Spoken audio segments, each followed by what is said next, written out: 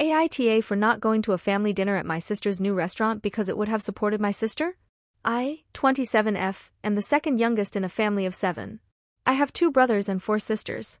The restaurant is owned by my sister Daisy, 28F. Daisy and I are both close to other members of our family. But she and I were never close and she has been pretty awful to me over the years. She'd try to get other siblings to exclude me and when they wouldn't she'd say mean things to me. We shared a room until we were 18 and she made the experience miserable for me.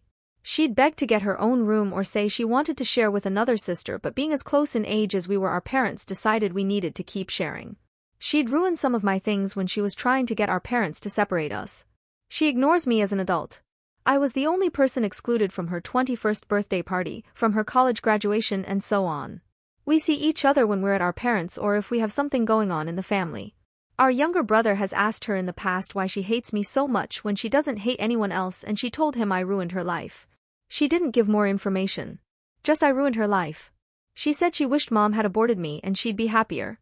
She also said she despised every second of sharing a room with me and wish I could have been kidnapped to get me out of her hair. I heard this and I was like fine, you know what, I have five amazing siblings. Five siblings is enough. Daisy and I aren't sisters. We're just two people who happen to share a family. I knew nothing about Daisy opening a restaurant until it was almost time. She told everyone else but not me, of course. It was mentioned in passing in front of me which is how I learned about it. But my parents wanted the family to support her and decided we should all have a family dinner there to do that. I refused to go. I said I was not supporting her. My parents told me I needed to go. Most of my siblings weren't surprised, one was kinda but still agreed with me. They told our parents that it made zero sense for me to be there and Daisy would hate seeing me in her place anyway. Our parents were like family supports each other and all kinds of crap. I ended up not going. Two of my siblings left during dinner because things were being said about me not showing up. My parents said I should have put our differences aside and show Daisy what family does for each other. They told me she could have come around to me. AITA?